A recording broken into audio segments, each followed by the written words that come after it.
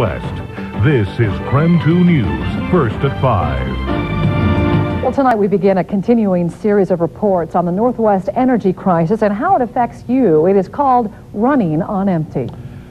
KREM 2's Tim Gordon now live at the Bonneville Power Administration to explain just why the energy crisis has some Kaiser workers feeling their jobs are on the line. That's right, Charles Nadine. You know, through this BPA substation, a whole lot of electricity flows. It flows through the grid. We're going to show you right there. And it flows to a very big customer, Kaiser's Mead Aluminum Smelter.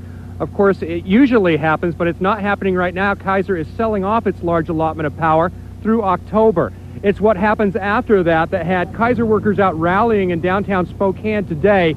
You see, the BPA is pushing for a two-year shutdown of the Northwest aluminum industry. The BPA says that would allow for affordable power for the rest of us. But Kaiser workers say making aluminum is so important not only to them personally, but the, to the entire region economically, that a two-year shutdown is a terrible idea. It's going to be a tremendous impact on the Pacific Northwest. And, you know, I think that uh, I think the shock of it all will come too late is the sad part of it. And the BPA, for its part, says that this is the worst drought conditions they've seen in 70 years, and of course, it relies on hydroelectric power. They say this is really the only alternative that they can see that will help all of us and also protect the aluminum industry in the long term. Reporting live in North Spokane, Tim Gordon, KREM 2 News. And Kaiser Aluminum's Mead plant is shut down. It may be years, not just months, before it opens back up again. I'm Tim Gordon. We'll have a live report on what workers think about all that next. KREM 2 News at 6 coverage you can count on. For the Inland Northwest, this is KREM 2 News at 6.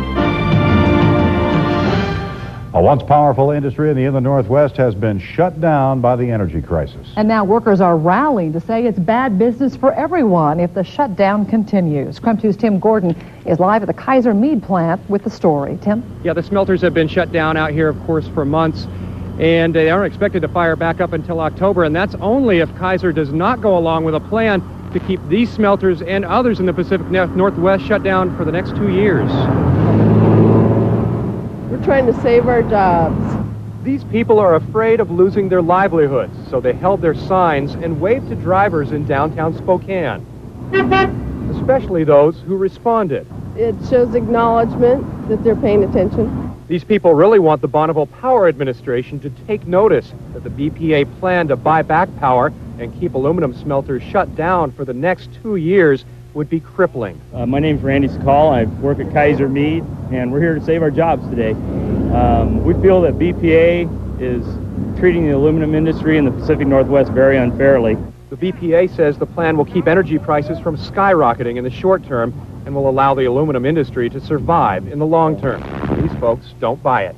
Both sides need to sit down and come to reasonable terms and, and try to, to come to some conclusion that will work for everybody. And they mean everybody. These workers say the economic impact of the aluminum industry stretches far beyond its 7,500 workers. And I don't think we can afford to give that up. I mean, who are we? We're going to rely on buying our aluminum from overseas. I mean, you know, we can't continue to run jobs out of the United States. And the more than a million dollar question is, uh, what does Kaiser think about all this? They say that they are against a two-year shutdown. They are in the business of producing aluminum and they want to get back to work there.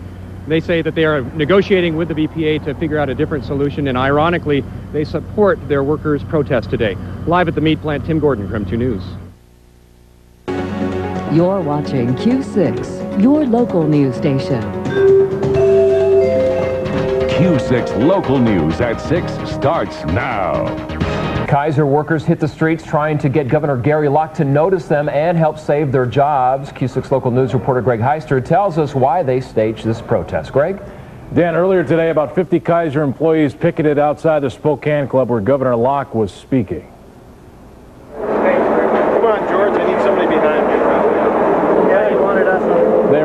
Because the BPA wants to shut down Kaiser and buy their electricity for up to two years.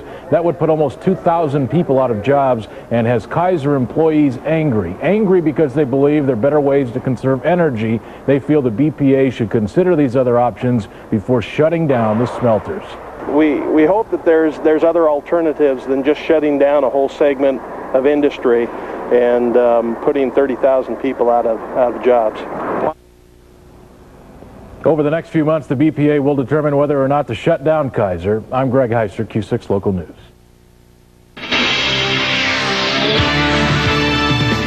First with news, weather, and sports for the entire inland Northwest. This is KAYU TV Fox 28 News.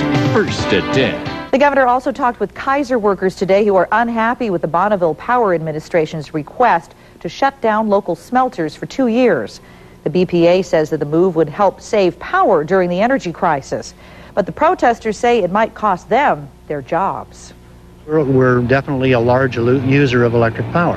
Um, what BPA has done is focused on the aluminum industry and has said we want you to take the brunt of the uh, of the reduction because of their overbooking of uh, of uh, power. It's just not right. Workers say more than 30,000 jobs are at risk if that BPA plan goes through.